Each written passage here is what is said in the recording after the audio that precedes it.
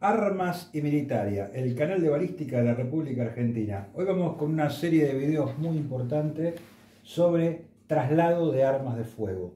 Cómo deben ser trasladadas las armas de fuego acorde a nuestra legislación y teniendo en cuenta las características de cada una de ellas. Vamos a empezar primero con un video sobre pistolas. Pistolas, revólveres es indiferente. Acá traje pistolas, debería haber traído un revólver, pero no importa. Eh, explicamos con pistolas. Bueno, acá tenemos, esta es una G17. Acá hay una caja con cartuchos que está llena, un cargador de repuesto y un cargador colocado. Todo dentro de su caja. Esta forma de transportar el arma, según nuestra normativa, es correcta.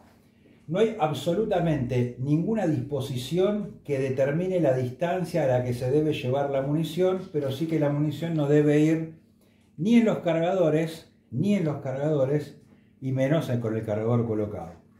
O sea, llevarlo la munición en su cajita, la pistola en su funda original o estuche, cargador de repuesto como está acá. Así está perfecta. ¿Qué, qué más hay que llevar? Obviamente, credencial de legítimo usuario, y la tenencia del arma, que en este caso está dentro de la cajita. Aparte, el documento nacional de identidad. Esto es perfectamente legal transportar así en la Argentina. Vamos a hacer de cuenta que no tenemos cajita y queremos usar un bolsito de estas características, porque es lo que tenemos. Bueno, hay mucha gente que me preguntaba, si llevo la pistola con el cargador lleno pero sin cartucho en recámara, pistola con cargador lleno, no se puede. No se puede trasladar el cargador con munición. Se denomina pronto uso, es una falta administrativa grave. El cargador debe ser, debe estar, él o los cargadores estar completamente vacíos y la pistola, por supuesto, sin cartucho en recámara.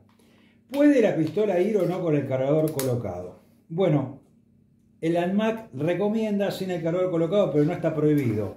De hecho, les voy a mostrar algo para disipar toda duda al respecto. Esta es una caja original de Versa original, manual. Fíjense, la pistola viene de fábrica con el cargador colocado. Así la retiran ustedes de la armería y se la llevan a la casa, así viaja de la fábrica a la armería y con esta caja ustedes la llevan y la pueden usar. Y así vienen muchísimas pistolas, por ejemplo las FM, muchas pistolas venían así en estas características. No está prohibido trasladar el arma con el cargador colocado. El arma no debe ser desarmada, nadie exige que el arma viaje desarmada. Si el arma tiene que bajar, viajar descargada y el cargador vacío. No se puede llevar cargadores llenos. ¿Estamos? El cargador vacío. Entonces lo ideal sería, para evitar cualquier inconveniente, pistola, no hay problema. ¿Quieren llevar la munición? Pueden poner la munición acá, no hay inconveniente no hay ninguna normativa que lo prohíba y todo lo que no está prohibido está permitido. Ahora vamos a ir a exteriores, primer video en exteriores del canal, a mostrar cómo se cargan las cosas en el auto. Bueno, acá estamos en exteriores, para decirlo de alguna manera, estamos mostrando cuál es la forma más correcta y más perfecta de trasladar el arma. La llevamos en el baúl del auto, como habíamos mostrado hace instantes, en la caja. Así estaría perfecto. Vamos a hacer de cuenta que tenemos el baúl lleno de cosas y no la queremos llevar en el baúl. Bueno, se la podría trasladar el asiento de atrás, no habría inconveniente. La ponemos acá y listo, no habría mayor inconveniente. ¿Se puede llevar así? Sí. ¿Estoy rompiendo alguna norma administrativa grave? No. Lo que no sería conveniente es llevarla suelta, por ejemplo, en la guantera o abajo del asiento pero llevarla así, de esta, en esta forma, no sería nada, nada grave. Eh, la normativa vigente nos dice que debemos disimular, disimular todo lo posible, que es lo que estamos trasladando, y que debemos evitar hacerlo, por ejemplo, arriba de portaequipajes o en la parte externa del vehículo, o en las cajas de las camionetas, pero así la podemos llevar. Hagamos de cuenta que por alguna razón no tenemos una caja. Entonces eh, queremos trasladar un arma y no sabemos cómo. Bueno, la forma más idónea es hacer esto. Tomamos el arma, ¿ven? El arma descargada, la colocamos en un trapo, hacemos un paquete, así está descrito en las páginas del ANMAC. Y la metemos en una bolsa y la podemos trasladar también así. Estas dos formas son perfectamente correctas para trasladar un arma de fuego. Lo ideal, lo más puro sería hacerlo en el baúl, pero hagamos de cuenta que el baúl está lleno de cosas o no podemos, la podemos llevar así, con la precaución de que no frenemos salga volando, ¿no?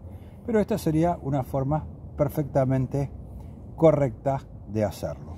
Recuerden, arma descargada, completamente descargada, no se exige una distancia para poner la munición, la munición así como les mostré puede ir en la misma caja, siempre y cuando esté debidamente acondicionada, tienen que llevar las tarjetas de tenencia de cada arma que trasladen, la CLU por supuesto vigentes, con la CLU si no está vigente no las pueden trasladar, y el documento nacional de identidad aparte de la documentación del vehículo en el que viajen.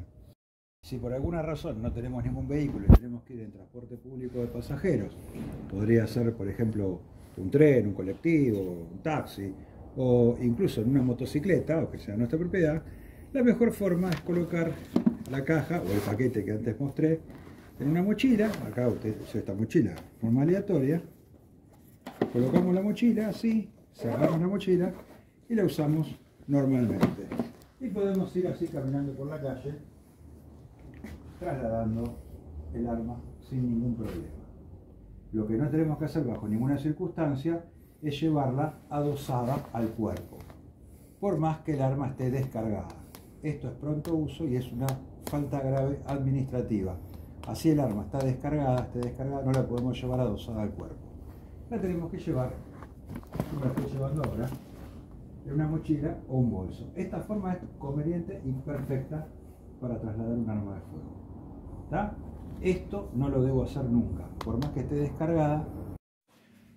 Bueno, espero que el video que hicimos les haya sido de utilidad. Lo hice bien práctico, bien mostrando las cosas para que se entienda. Esta es la reglamentación vigente que hay actualmente en la Argentina para el traslado de armas de fuego.